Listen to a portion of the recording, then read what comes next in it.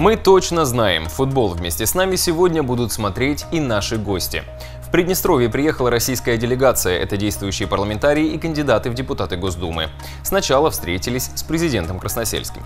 В российской делегации пять человек. Есть знакомые лица. Это действующие депутаты Госдумы Артем Туров и Сергей Чижов. А вот кандидаты-новички. Марина Аргеева, глава Калининградской облдумы, Андрей Климентов от Комитета по труду и соцзащиты от Воронежской облдумы. Еще одно новое лицо Андрей Горохов представляет корпорацию развития Калининградской области. С нашим президентом обсуждали предстоящие выборы в Госдуму. Вадим Красносельский говорит, приднестровцы всегда активно участвуют в российских выборах. Так мы причастны к истории большой Родины.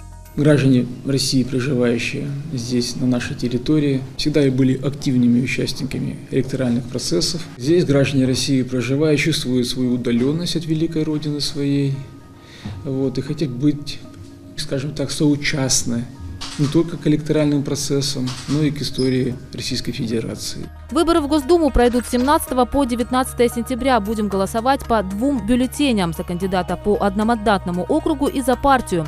Приднестровье относится к семи российским округам. В Рыбнице, например, депутата Госдумы будут выбирать вместе с Липецкой областью, а в Бендерах – с Калининградской. На территории вообще э, Приднестровья открывается 27 избирательных участков, три только на территории Молдовы. Вот. Ну и как показывает практика, везде очередь, везде интерес, везде ажиотаж.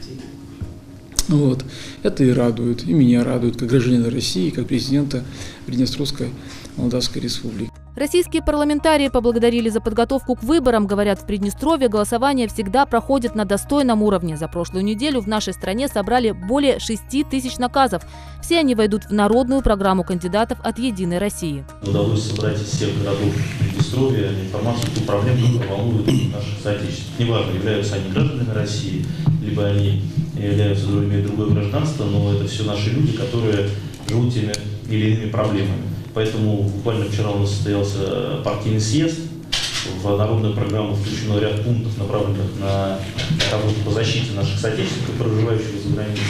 В седьмом созыве Государственной Думы у приднестровцев есть свои представители. И за это время сотрудничество между Россией и Приднестровьем удалось выстроить на качественно новый уровень.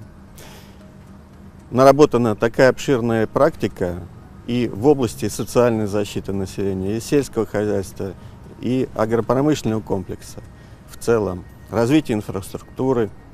И сейчас уже рассматривается вопрос о формировании целевой программы поддержки Приднестровья. С программными заявлениями кандидатов в депутаты Госдумы сможем подробнее ознакомиться в течение нескольких дней. Они посетят предприятия, встретятся с избирателями на местах. Визит только начался.